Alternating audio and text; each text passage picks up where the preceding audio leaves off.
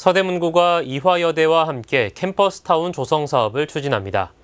패션과 뷰티 등 라이프스타일 분야의 사물 인터넷과 인공지능 등 첨단 기술을 접목해 이대 상권을 활성화시키는 사업이 진행될 예정입니다. 이를 위해 서대문구는 관련 분야 창업자들이 시제품을 전시하고 테스트해 볼 수 있는 창업 공간과 체험 스튜디오를 마련했습니다. 이곳에 입주한 창업팀은 대기업 연계 멘토링과 창업 활동비를 지원받을 수 있습니다.